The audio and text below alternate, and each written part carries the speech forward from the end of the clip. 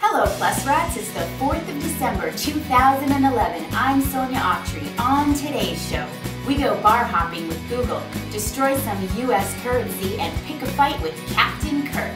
We're giving it all she's got this week on Circle Sunday.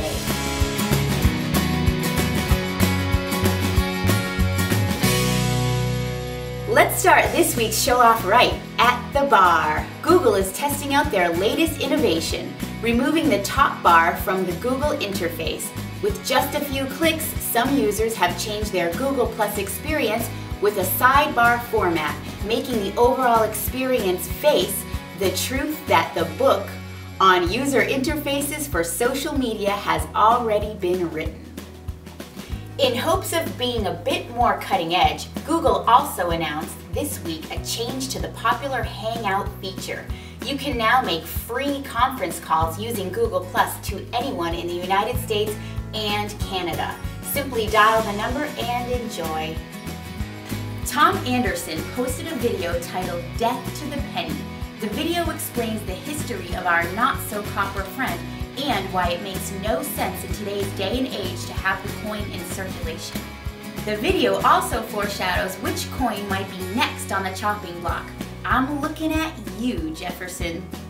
A fellow Plus rat of ours has created an online media network of live shows and on-demand television and radio. Go check out clubzone.fm and shows like the Morning After Show.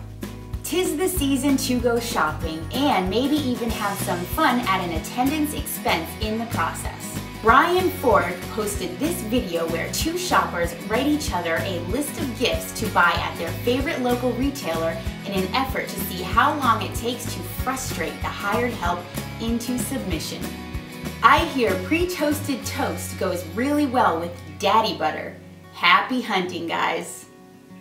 Not everyone can be happy during the holiday season, and sometimes tempers do flare. Princess Leia took on Captain Kirk, so now William Shatner's got a bone to pick this week with Carrie Fisher. Good old Captain Kirk may have needed a costume that required a bit more flexibility, but he points out that Miss Fisher's iconic bikini might not have been as uplifting as she thinks. In a galaxy not too far away, we find our next story. A photographer named Craig Royal has been sharing some amazing photos with the Google Plus community. If that's not newsworthy, well, what if we told you he was blind? Would that be enough to knock the footies off your pajamas? Craig writes that his peripheral vision is blurred and his central vision is obscured by a white blind spot. Despite this handicap, he has been taking these stunning photos which have been spreading like wildfire across Google+. It just goes to show you there is no excuse not to chase your dreams. If you're browsing around Google Plus this week, be sure to circle the Podsmiths brand page. It's where you can get links to all of our shows. There's Coffee Jive, Dine and Sign, and even The Accidental Philosopher.